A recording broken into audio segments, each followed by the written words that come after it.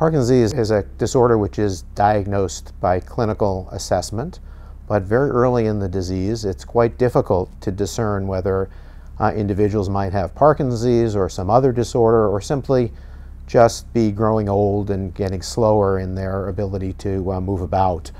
And so Parkinson's disease diagnosis has been a dilemma for both the physicians who are trying to diagnose such patients and for the patients and their families. The PARS study is the Parkinson Associated Risk Syndrome Study. It's an effort to develop a cohort of individuals who are at risk for Parkinson's disease using a sequential biomarker strategy, uh, taking advantage of the early smell loss in Parkinson's disease coupled with abnormal dopamine imaging to allow us to say these individuals are indeed at risk for Parkinson's disease. And that really is based on the premise that uh, for Parkinson's disease, as well as for other neurodegenerative disorders like Alzheimer's disease or Huntington's disease, there is a long period of time when there is degeneration in the brain, but symptoms have not yet arisen.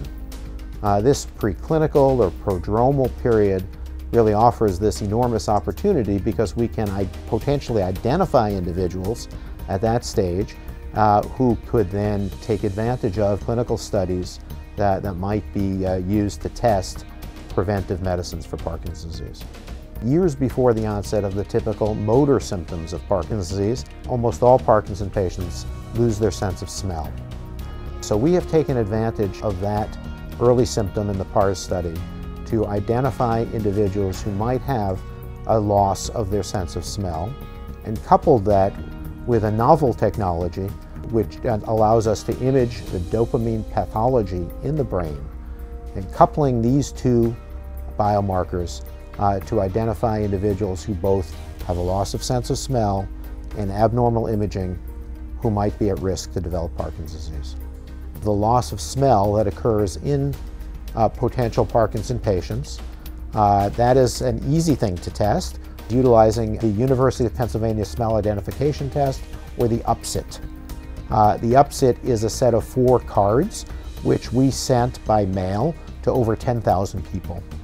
Uh, these are simply scratch and sniff cards such as you would get if you looked in a magazine to smell perfume or, uh, or some other odorant. Uh, and they scratch and sniff uh, and return them to us. We then uh, identify them as having a loss of smell or a normal smell.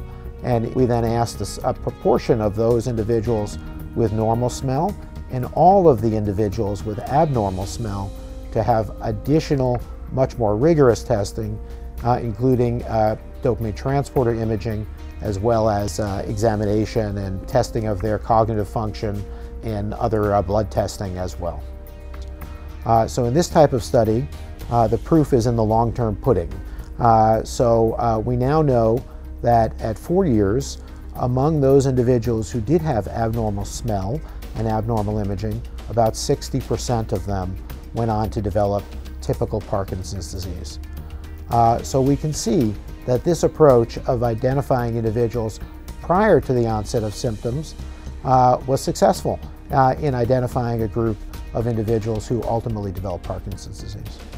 The DoD programs have been essential for our research programs, and it really uh, took great foresight uh, from the DoD programs because this really required uh, identification of a novel idea and uh, had the follow-through to enable us to continue to follow these individuals for now, again, up to eight years, uh, which is really uh, remarkable in a research project. What we would like to do is now begin to couple the identification of subjects in this way uh, with testing of uh, newer drugs, which might actually slow down uh, the progression of disease. Uh, and ultimately, the goal is to utilize those drugs even prior to the onset of symptoms to prevent the illness.